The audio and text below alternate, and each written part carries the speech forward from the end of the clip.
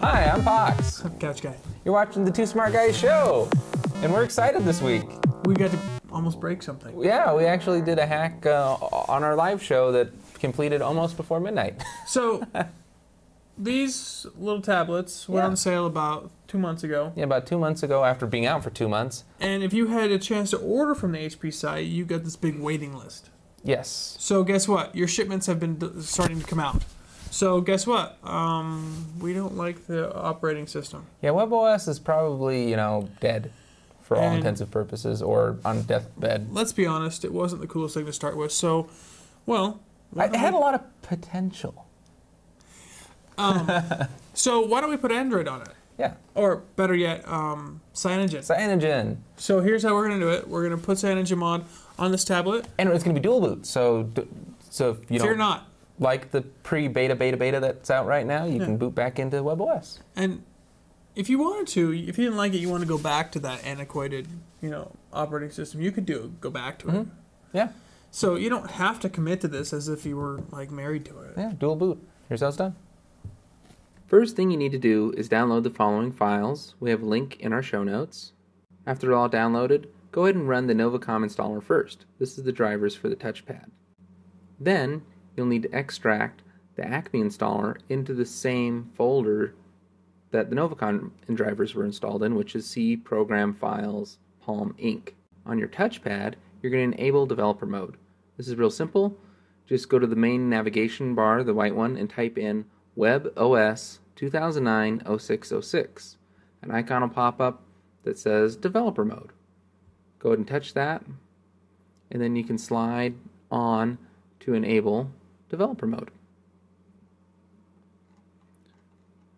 Simply plug in the USB cable into your PC and press USB drive. Now your show up as a mass storage device. In the root directory, make a CM install folder.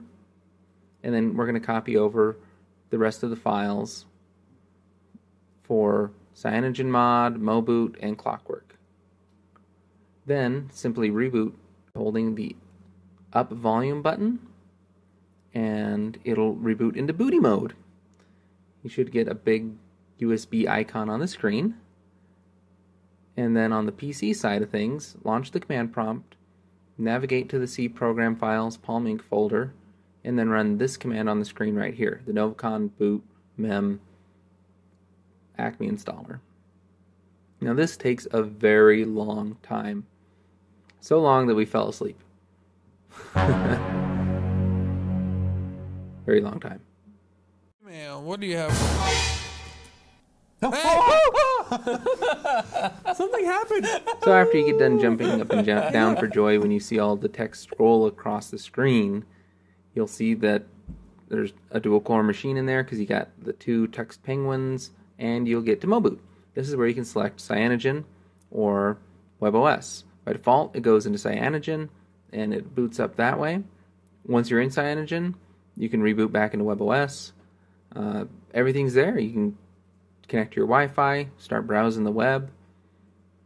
Sound works, 1080p video works, the camera works. Yay, it actually works.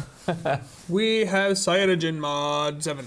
Um, and it's, you know, with the exception of the Android market, which I think is essential to be considered a functional tablet, which we'll do next week. Next week we'll show you how to Um, get Android Market on there, maps. Absolutely. There's all fun kinds of things. It doesn't mean you can't do it. Uh, it just it doesn't come with it inside of it. You have to load that separately. Right, because it's not licensed for it.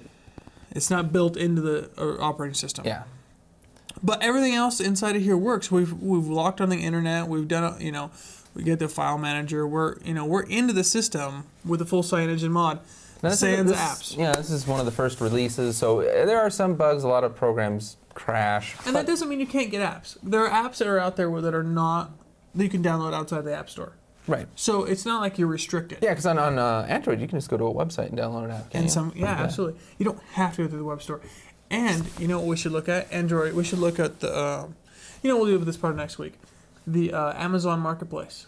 They've got some nice. Uh, they work nice too. Oh, So cool. we'll see. Make sure the apps uh, interaction work next week with this. But HP Touchpad just became functional. Yes, so uh, all those people that finally gave up on them, grab one quick before they, re- they realize it's probably the most powerful Android tablet on the market right now. Yeah.